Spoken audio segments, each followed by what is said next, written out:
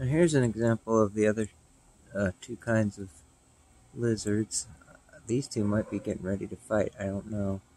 Um, I'm sitting a bit of a distance away, but I'm zooming in to try to capture it.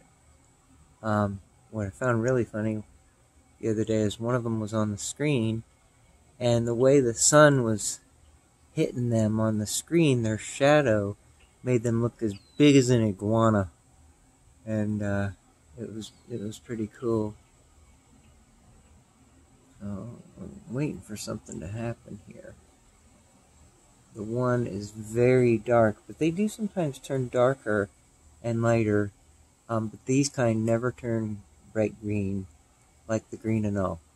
Um, also, uh, some of them have uh, patterns, some of them have ridges, uh, different spots and things like that.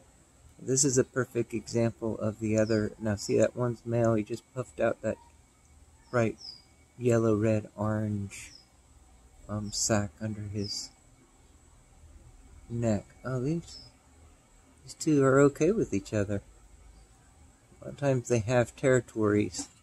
I don't know how it's all set up, but man, if one goes into the other space, it's crazy. Also, when I had uh, an iguana, um, I put a little lizard like this, you know, uh, in the in the terrarium with my iguana, and the iguana immediately ate it.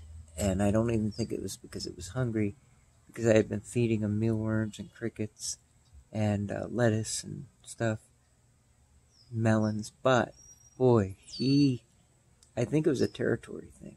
So they are pretty much territorial. And I, I don't know how that all works, but I might be reading up on it soon. Or if you know and you're watching this by any chance, the very few that watch, uh, it'd be cool if you tell me down in the comments or something. Link me to where I can find out or just hear from you, the professional. One last good close up of him. That's it for now.